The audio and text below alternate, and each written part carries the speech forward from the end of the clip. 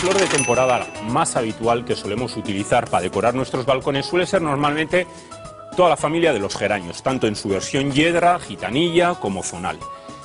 En el caso, eso en el caso de que los balcones estén bien expuestos al sol. En, el caso de que estén a la sombra, solemos recurrir a las alegrías tanto guineanas como de la casa. Pero hoy vamos a plantar estas maravillosas begonias, begonias elatior, en este color naranja tan llamativo. Es una planta que también puede funcionar muy bien en nuestros balcones. En este caso, este balcón no está expuesto directamente al sol y en estas condiciones estas begonias no van a poder de florecer hasta el final de la temporada. Ya veis, están ya tremendas, con lo cual vamos a conseguir un efecto de flor impresionante.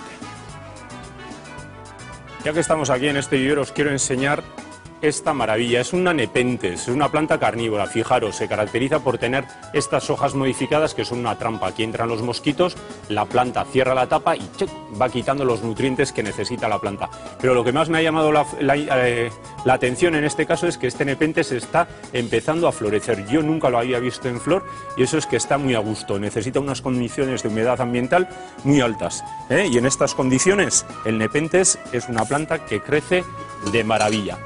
Vamos con la plantación. En este caso vamos a utilizar para nuestras begonias elatior un sustrato hidrocontrol. Un sustrato que nos va a permitir ahorrar hasta un 40% en agua, porque al llevar incorporado unos polímeros, estos se hinchan con el agua del riego y ese agua en vez de irse por perderse por escorrentía, por el agujerito del drenaje, se queda retenida en el sustrato. Y eso hace que se reduzca hasta un 40% la frecuencia del río.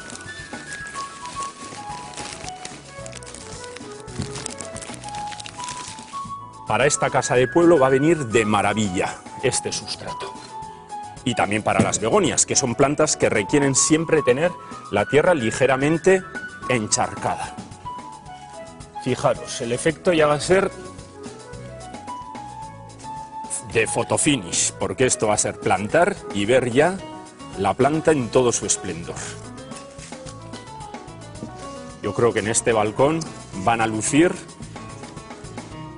en todo lo que nos queda de temporada, que no es poco, ¿eh? porque estas plantas, hasta que no lleguen las primeras heladas, van a estar floreciendo sin problemas. Incluso lo que podemos hacer es, si tenemos begonias elatior, una vez que empiece ya a resentir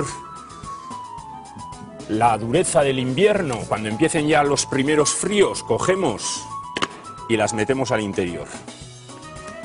Y tenemos begonias también para decorar el interior de nuestra casa, siempre que sea muy, muy, muy luminoso y no descuidemos los riegos.